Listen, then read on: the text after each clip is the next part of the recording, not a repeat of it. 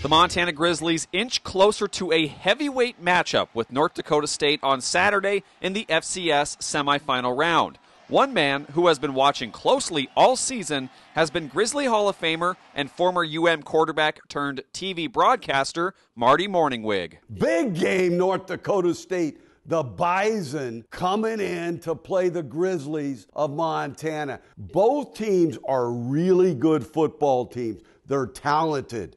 They're disciplined, typically disciplined. They're very well coached. The longtime NFL coach, whose son is actually an offensive analyst for the Bison, sees this game as a toss up between the two powerhouses. So this game may come down to one, two, or three plays during the ball game. A great play by one of the teams, or a mistake, a big mistake by one of the teams. It may come down to a great individual effort by one of the individuals on one of the teams. It might be the bounce of the ball. So this is going to be a fascinating game. As an alum and now broadcaster for the Montana Television Network during Grizzly conference games, Mornhinweg is locked in all season on Montana. He was there when UM fell to NAU back in September, but like everyone else, has seen the Grizz turn it around. And I said that week, weeks from now, we may look back at that game and, and think that may have been the key to their season. And you look back now and go, those leaders on that football team, the tough minded, the tough physical type of players, they went, okay, that type of thing that happened in Flagstaff will not happen to us again. Doing the broadcast has also brought Mornhinweg back in closely with his alma mater.